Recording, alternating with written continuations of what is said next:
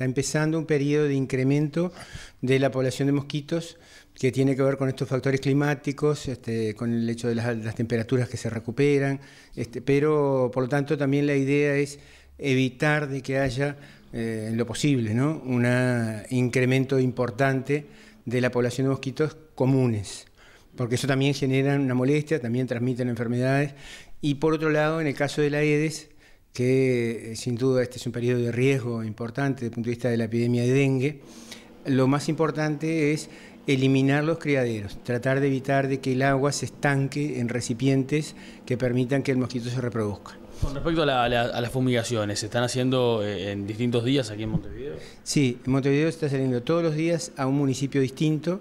En, el, en el día de hoy se está en la zona de La Teja, sobre todo el Prado, el Jardín Botánico, este, y en el día de mañana se va a estar en la zona de Parque Barofio, en la zona de Euskal Herria, la zona de Malvin, digamos. Mm. Y en el jueves se va a hacer fundamentalmente Parque Valle, Parque Rodó, estos los grandes parques de acá del centro de la ciudad.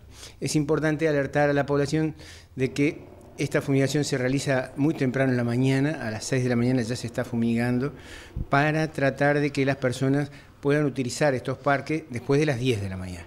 Quiere decir que no es conveniente que en, ese, en esa primera hora estén utilizando al mismo tiempo que se fumiga o inmediatamente posterior a que se fumiga.